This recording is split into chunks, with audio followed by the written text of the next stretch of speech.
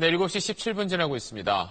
개천에서 용나기가 갈수록 어려워지고 있습니다. 아무리 힘들어도 노력하면 꿈을 이룰 수 있다는 우리 사회의 믿음이 점점 더 옅어지고 있기 때문입니다. 이걸 나타내주는 통계청 조사 결과를 송욱 기자가 전하겠습니다. 대한민국은 수많은 개천의 용이 산업화에 초석을 마련한 나라입니다. 조선소 지켰던 백사장 사진 그걸 들고 가서 네 배를 만들어줄 테니 살아 이런 얘기죠. 노력하면 꿈을 이룰 수 있다는 믿음이 작동한 겁니다.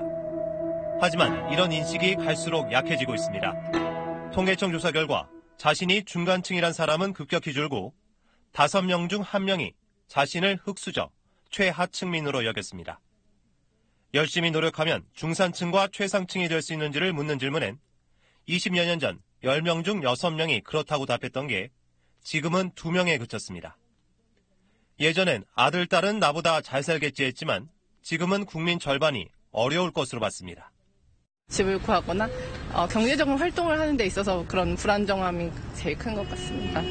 돈이 많은 부모일수록 애들을 많이 가르치다 보면 걔들이 아무래도 더 좋은 대학 갈 확률도 많고 계층 이동 비관론은 사회 갈등뿐 아니라 성취 욕구를 떨어뜨려 경제 위축으로 이어집니다. 쇼크를 계속 받은 동물은 자신이 어떻게 움직여도 쇼크가 계속된다는 것을 알게 되면은 자포자기를 하는 그런 경향이 있는데 그것도 인간의 경우에도 그처럼 무기력이 확산될 가능성이 있습니다.